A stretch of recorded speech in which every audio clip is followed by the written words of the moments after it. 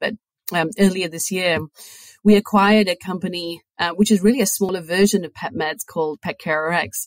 Um, fantastic team based out of Long Island, um, New York. And although a smaller version of PetMeds, they have a premium food um, component to their business that drives about 50% of their business. So they're not just medication. They're about 50% medication and 50% sort of premium food it was a great acquisition for PetMeds because PetMeds, on the other hand, is predominantly medication.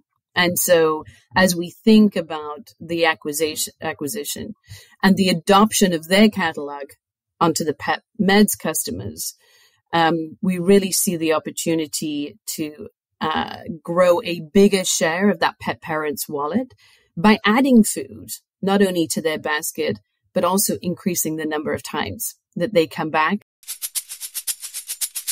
CFO Thought Leader is made possible by Planful.